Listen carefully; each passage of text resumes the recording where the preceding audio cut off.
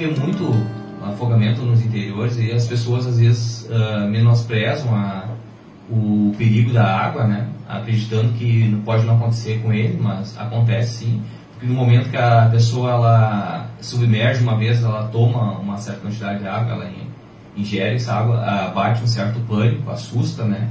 E a pessoa acaba não tendo os reflexos suficientes e nem habilidade às vezes para sair da água, né? Então tem que ter muito cuidado. A água, como eu digo, a água não dá para brincar, não. E, e porque eu queria que o senhor frisasse um pouquinho sobre a alimentação. A pessoa se alimenta e já vai para a água e isso é perigoso. O que, que acontece no nosso organismo? É, dá a ingestão, né? A, a pessoa come, o corpo fica muito alimento no organismo, todo o sangue do corpo vai ser trabalhado na região abdominal, né? Então, no momento que a pessoa entra na água, sob pressão da água, dá um, o corpo reage mal a essa situação e acaba a pessoa passando mal e, e como ele pode e vir, vir a se afogar. Né? Pode diminuir a oxigenação em função do sangue no cérebro, isso, né? Isso, isso. Dá sono? Isso. Dá fraqueza? Dá fraqueza, dá sono e pode dar esses Muito problemas bem. aí. E as câimbras, que às vezes. O, o que, que acontece com o jovem que às vezes se afogou lá no poço, perdeu a força, mesmo bom nadador?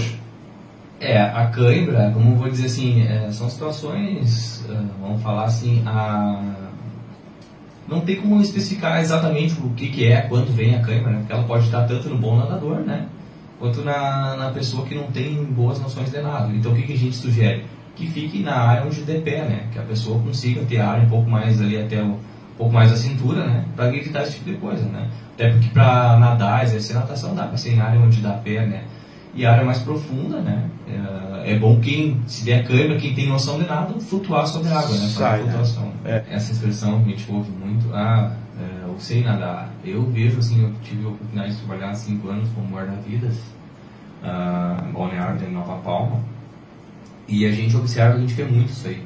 As pessoas dizem, ah, eu sei nadar, eu sei... Às vezes as pessoas se defendem um pouco na água, né?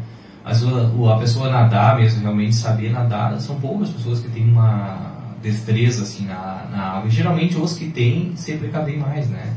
Então, às vezes as pessoas vão nessa, vamos dizer assim, vamos citar uma falsa sensação de, de segurança, de que consegue nadar. Por exemplo, assim, a gente vê muito, ah, eu vou atravessar o rio ali, são só 10 metros, 15 metros, e as pessoas vão.